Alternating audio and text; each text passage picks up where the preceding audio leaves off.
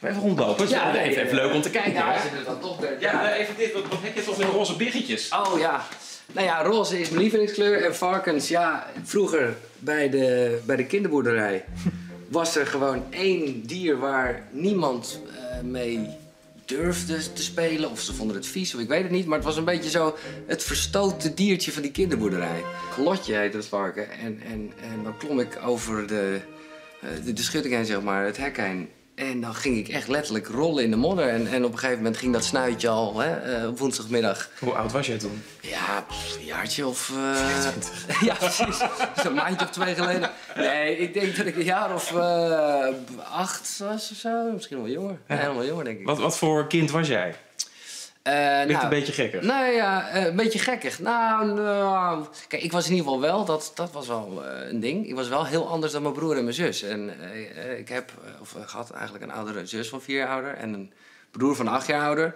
En dan dachten ze op school altijd, oh, dat is een belen, die hebben we al gehad. Eh, net, eh, net de stille kinderen, die doen goed hun best. Ja, het was dan toch dat ze na twee, drie maanden daar dachten, oh, dat is toch net even wat anders. Anders was ook de hobby die Giel als kind had. Je hebt op ballet gezeten. Ja, ja, ja. Hoe lang? Jarenlang.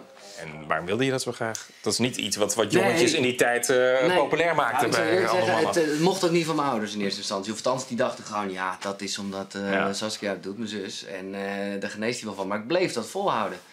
Van, eh, nou, dat lijkt me gewoon echt gaaf. Nou, toen dacht ik, oké, weet je wat?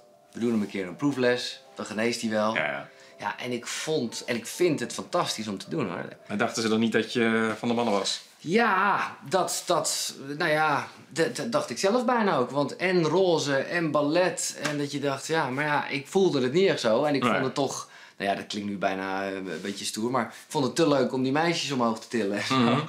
dus, dus nee, dat was het niet, nee. Maar, ja, lang verhaal kort. Ik was aangenomen op het conservatorium. Ja. Maar dat was eigenlijk net het moment dat ik ook bij de lokale omroep was begonnen. En ik ineens dacht, ja, maar ik vind dansen gewoon heel leuk. Ik wil geen balletdanser worden.